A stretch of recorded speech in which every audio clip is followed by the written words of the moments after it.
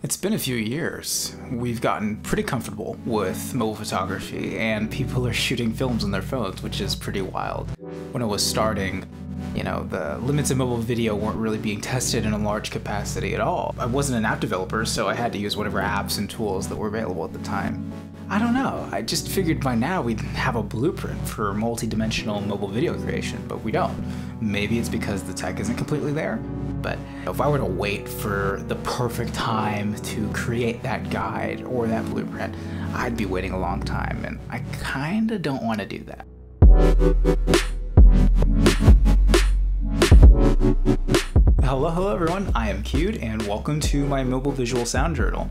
And today I'll be challenging myself to see if I can create that guide to multi-dimensional mobile video creation.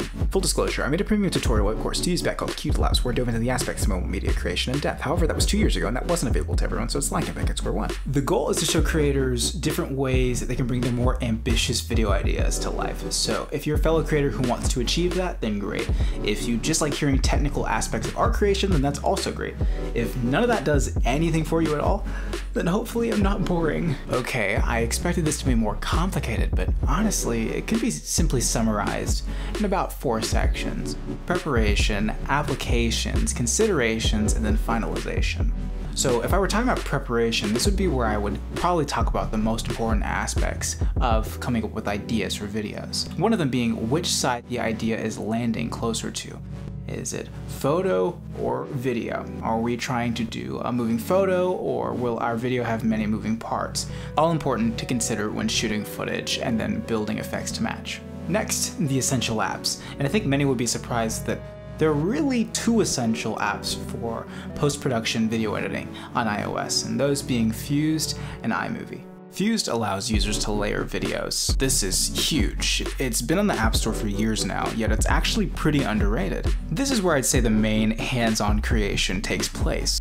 Make video versions of photos or blend videos, it's really up to the user. Then there's iMovie. I feel like people will scoff at the mere mention of it, but it really is the mainline comprehensive mobile video editing experience. Built to work with the native iOS infrastructure. You didn't think I was really going to use the ecosystem buzzword, did ya? It allows the user to export at the highest quality possible.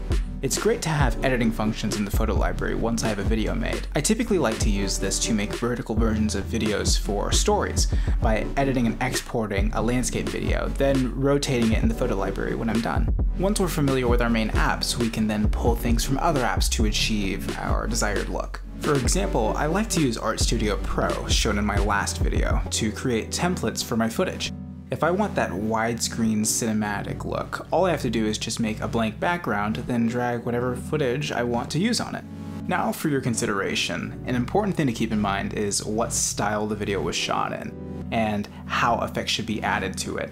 Since object mapping isn't possible on mobile, it's advisable to shoot from a stationary perspective. If our camera moves, then we'll want to get creative with a way to basically simulate motion in other apps so that that effect matches the footage properly. For example, I can pan over an image in iMovie if we want the starry effect that I'm using to match the original video.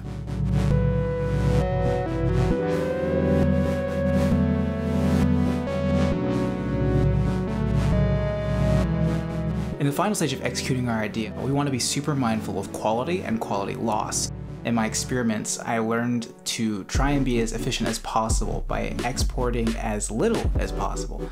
Because when you export a bunch of times, you will just lower the quality of the video. So you definitely want to be as creative as you can with maybe stacking effects.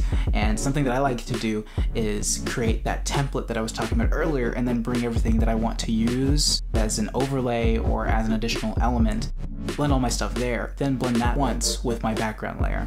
Yeah, I might be exporting three or four times, especially when I take that over to color grading, but at least I'm not exporting six or seven times. The last thing I'd say is just to not be afraid to learn or try new things. Imitation can be great when learning, but copying excessively is just a waste of the uniqueness that people have, and tapping into that uniqueness, now that could potentially bring about some innovation, and it might even be effortless.